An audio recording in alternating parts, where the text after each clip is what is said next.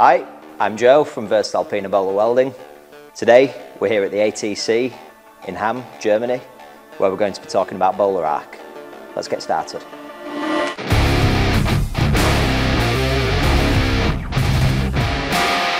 Okay, so what do we mean when we refer to the Böhler arc? The concept of Böhler arc is that we have a fully integrated approach combining the welding consumable, the welding machine, and also the welding process. The result of this is the optimal welding result.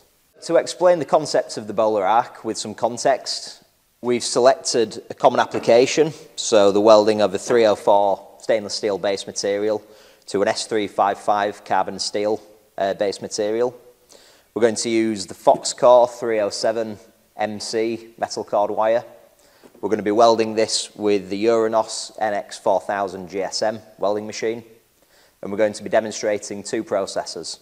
The first, the standard spray arc, and the second, we will be using the consumable specific synergic curve. Let's see how they look.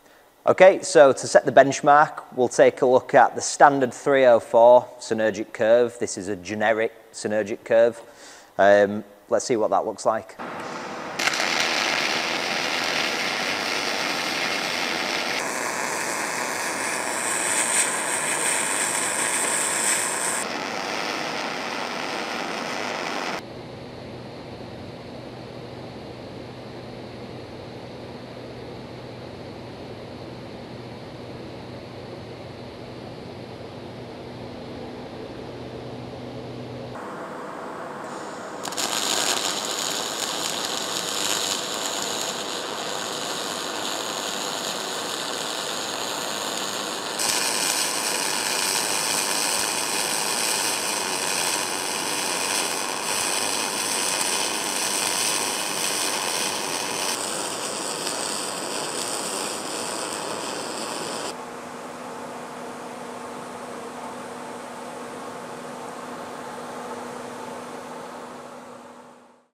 For more information on Böhler Arc, please don't hesitate to get in contact with us, either through your local distributor or also contact us directly.